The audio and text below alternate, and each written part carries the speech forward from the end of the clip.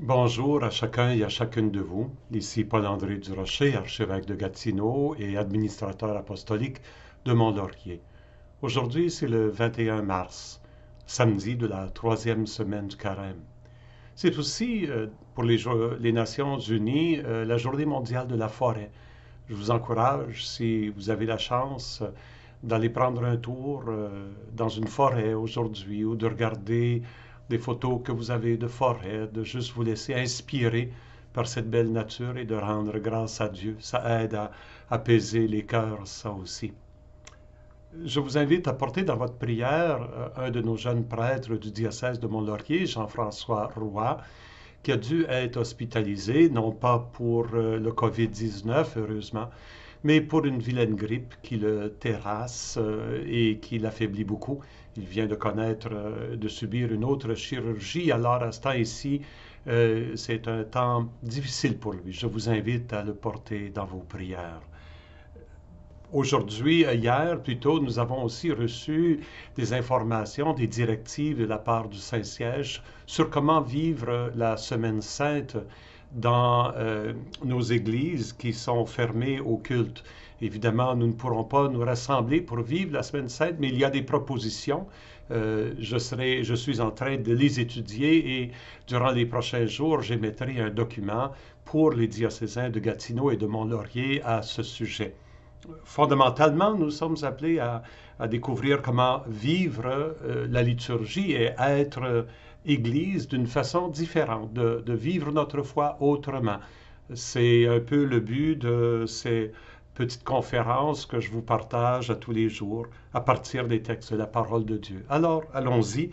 Aujourd'hui, la première lecture proposée est encore du prophète Osée, comme hier, mais tirée d'un texte en plein cœur de son livre, le chapitre 6, les versets 1 à 6.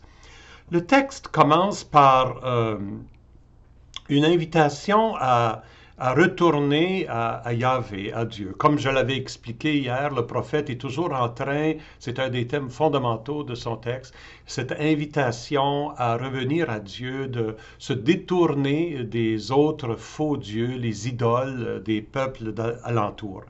Alors, euh, ça commence, les premiers versets commencent avec euh, un appel, on pourrait dire, venez, retournons vers le Seigneur. Il a blessé, mais il nous guérira. Il a frappé, mais il nous soignera. Après deux jours, il nous rendra la vie. Il nous relèvera le troisième jour. Alors, nous vivrons devant sa face. Euh, en passant cette expression, après deux jours, il nous rendra la vie. Il nous relèvera le troisième jour. C'est une structure poétique typique en littérature biblique où on dit euh, deux de ceci, trois de cela, ou bien quatre de ceci, cinq de cela. C'est une façon de dire à peu près. Et dans ce cas-ci, ça veut dire euh, Dieu répondra rapidement. Dans un bref délai, Dieu répondra si on revient vers lui. Euh, et euh, le, texte continue, Efforçons-nous de connaître le Seigneur, car son lever est aussi sûr que l'aurore.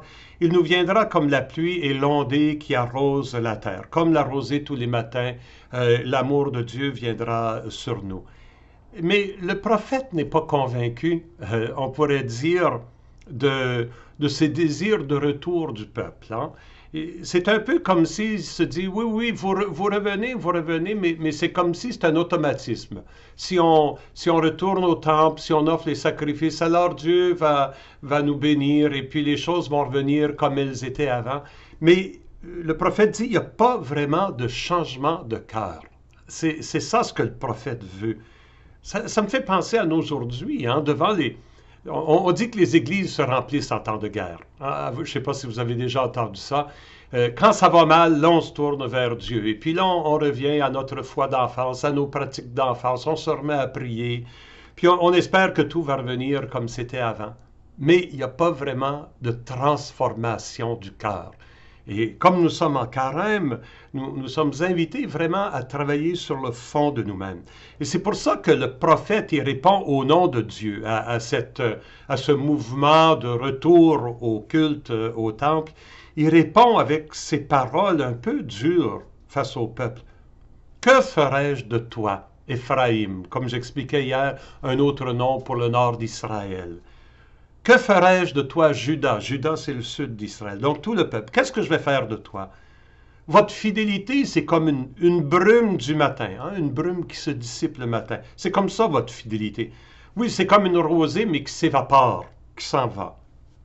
Voilà pourquoi Dieu dit, je, vous ai frappé par mes prophètes. Ça, veut dire que les prophètes, ils ont des mots durs. J'ai donné la mort par les paroles de ma bouche, en voulant dire, j'ai montré les chemins de mort qui sont là. Mon jugement jaillit comme la lumière. C'est une illumination que je veux. Et cette invitation profonde et radicale, je veux la fidélité, non le sacrifice, la connaissance de Dieu plus que les holocaustes. Ce qui m'intéresse, ce ne sont pas euh, la multiplication de vos prières et de vos dévotions. Ce qui m'intéresse, c'est une transformation du cœur, une fidélité, un amour fidèle, la connaissance de Dieu. Et la connaissance pour la Bible, c'est pas juste une question de tête, c'est une question de cœur, parce qu'on ne peut vraiment connaître qu'avec le cœur. Le prophète, son message, il est exigeant. Il nous demande non seulement de revenir vers le Seigneur, mais de revenir du fond du cœur, faire vivre une transformation profonde. Dans l'Évangile, on entend comme un écho à ça. De l'Évangile de Saint Luc. Luc est, dans une situation, c'est du chapitre 18, les versets 9 à 14. Luc et euh, Jésus est en discussion avec euh, les pharisiens. les pharisiens, il faut comprendre, c'était du bon monde. C'était euh, c'était des hommes, évidemment, c'était des hommes, mais des hommes qui cherchaient à vivre la loi, on pourrait dire, de façon hum, le, plus parfaitement possible il suivait chacune des règles de la loi. Ce serait comme euh, des, des, laïcs aujourd'hui dans le monde qui cherchent à vivre la même vie que les moines en prenant les mêmes rythmes que les moines, les mêmes rythmes de prière, les mêmes règles de jeûne que les moines, pour essayer de vraiment vivre euh, cette vie-là profonde. Mais le risque dans, dans une aventure comme celle-là, c'est toujours de penser que c'est nous qui nous faisons bon. Regardez comme je suis bon. Euh, je, vis une vie euh, spirituellement parfaite. Hein. Je, suis saint, moi, en d'autres mots. Et, Jésus, donc, il adresse le texte, si je lis le texte, à l'adresse de certains qui étaient convaincus d'être justes et qui méprisaient les autres. Jésus dit la parabole que voici, une parabole que nous connaissons bien deux hommes montèrent au temple pour prier. L'un était pharisien et l'autre publicain, c'est-à-dire un collecteur d'impôts. Et il faut comprendre que le, collecteur d'impôts au temps de Jésus n'était pas seulement un fonctionnaire public, c'était un partisan romain, c'était un juif qui collaborait avec l'occupation romaine. Donc il était vu comme un traître. Et non seulement ça, comment est-ce qu'il gagnait sa vie? En surchargeant sur les impôts. Disons qu'il devait collectionner, moi je sais pas, 1000 piastres d'impôts pour les Romains, ben il disait tu me devras 2000 et il gardait le 1000 de plus pour lui et il remettait le 1000 aux Romains. Donc il profitait de cette situation. Donc doublement traître, doublement traître à son peuple, la collaboration et le profit euh, qui pouvait parfois être obscène. Donc, c'était les, publicains étaient vus comme les, plus bas des plus bas. Vous euh, pouvez imaginer, moi, je ne sais pas, euh, quelqu'un qui profite de la situation dans laquelle on est maintenant pour, pour essayer de se faire de l'argent. On, dit, mais ces gens-là, ils, ils, pensent à personne qu'à eux-mêmes. C'était ça comme ça qu'on voyait les publicains. Le pharisien se tenait debout, il prie en lui-même. Mon Dieu, je te rends grâce parce que je ne suis pas comme les autres hommes qui sont voleurs, injustes, adultères ou encore comme ce publicain. Je jeûne deux fois par semaine et je verse le dixième de tout ce que je gagne. Remarquez que le pharisien, ce qu'il dit, c'est vrai. Il n'est pas comme le publicain. C'est vrai qu'il jeûne deux fois par semaine. C'est vrai qu'il verse le dixième de tout ce qu'il gagne. Mais c'est lui. C'est moi qui fais ça. C'est moi qui fais ça. Le publicain, lui, se tenait à distance. Il n'osait même pas lever les yeux vers le ciel. Il se frappait la poitrine en disant mon Dieu, montre-toi favorable au pécheur que je suis. Je suis un pécheur. Le publicain dit, je suis un pécheur, je le reconnais. Aie pitié de moi. Sois, sois miséricordieux pour moi. Et Jésus, qu'est-ce qu'il dit? Je vous le déclare, quand ce dernier redescendit à la maison, c'est lui qui était devenu un homme juste plutôt que l'autre. Un homme juste, comme, comme je dis souvent, être juste dans la Bible, ça veut dire être un ami de Dieu. Et c'est lui qui était l'ami de Dieu, plutôt que le pharisien, lui qui pourtant faisait tout ce qu'il pouvait pour être ami de Dieu. Et Jésus finit avec cette phrase, qui s'élève sera abaissé, qui s'abaisse sera élevé. C'est pas juste une, petite leçon de politesse que Jésus nous apprend ici, tu sais, que c'est bon d'être humble, ne soyez pas trop orgueilleux, tu sais. C'est toujours drôle euh, de penser que, bon, on prend ça à cœur, puis on dit, bon, je vais être humble, je vais être humble, puis finalement, je vais dire, bon, Seigneur, je suis humble, heureusement que je ne suis pas comme ces orgueilleux là-bas. Hein?